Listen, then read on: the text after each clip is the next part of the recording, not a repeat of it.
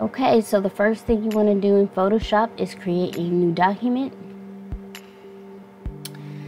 And the size of our bookmark is going to be in pixels, 142 for the width. And then you're going to type in 425 for the height. You also would want to change the resolution to 72 and I chose a black background just because the image I'm going to use matches with it best. You can choose whatever it is that you like. Hit create. And there we have our canvas for our bookmark. Now I'm going to go ahead to file and open and pull out the picture that I'm going to use. It is a picture of Jon Snow. Somebody airbrushed or painted, I can't remember. But um, I did get permission from the artist to use this, not commercially. I use it as a bookmark for somebody. Okay, so I'm just detaching Jon's picture from the thing so I can make it smaller so it's easier to drag and drop onto the canvas that we're using. And now the arrow at the top left corner, you want to take it, hold it on the picture and drag and drop it into our canvas. And as you can see, Jon is way bigger. So go to edit, free transform, and here you can adjust the size of your picture if it's bigger um, than your canvas or if um, it's not the size that you already want. Okay, so here I'm just playing around with and adjusting this Jon Snow picture until I get it to the size um, that I want, that I'm satisfied with for this project, okay?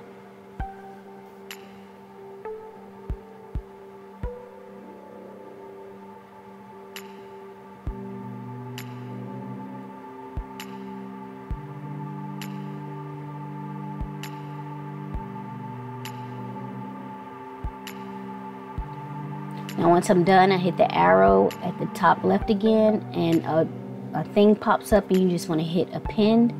And now I'm unlocking the background over here on the background layer and then I'm going to go to layer and hit um, merge visible.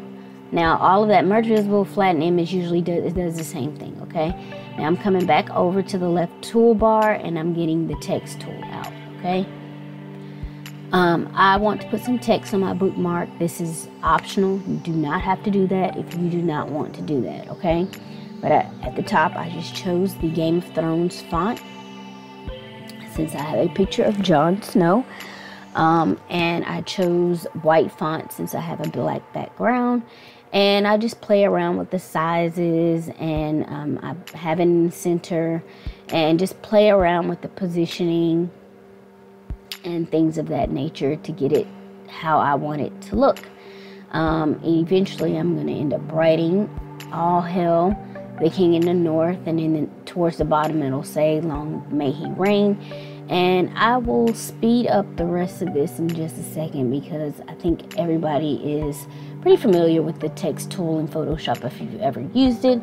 And you guys I think can pretty, this is self-explanatory right here, this part, you can figure it out. So yeah, I'm speeding it up a bit and positioning things the way I want it. Now the next step um, is you're going to end up merging all of that together again. So you're going to go to layer and flatten image or merge visible, or whatever. Um, and if you want a double bookmark, meaning the same thing front and back, what you're going to do is hit image canvas size.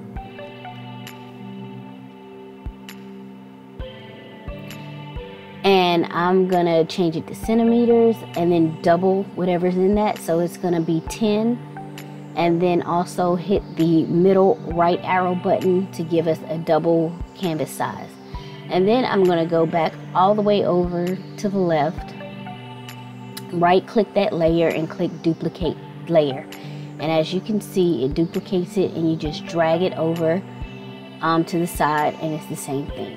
And then all you're gonna do is save it. I usually save my work as PNGs. You can save it as whatever you want to save it as. And next step, of course, is to print out your project.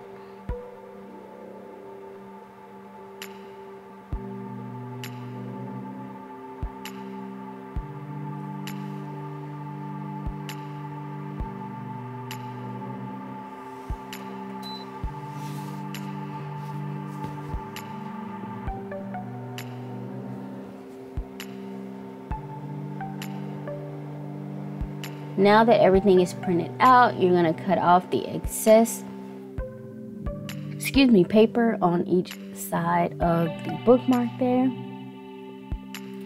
And once you're done, you just fold it in half and you can either tape it or glue it together. I prefer to laminate it um, just to make it a bit more sturdy. Um, and then I'm again cutting off the excess paper here and you can leave it just like this once you're done. Um, I wish I had rounded the corners before, but I did it afterwards and whatever. Um, but you can leave it just like that if you want. I'm going to fancy up just a little bit. I'm going to use my Crop-A-Dile, the 3 16th, and punch a hole at the top there. I'm going to add an eyelet. And then I'm just going to add a tassel that I had left over from another project. So that is it for this project, guys. Quick and easy. I hope it was helpful. And yeah, I will catch you in the next video. Thanks for watching. Bye.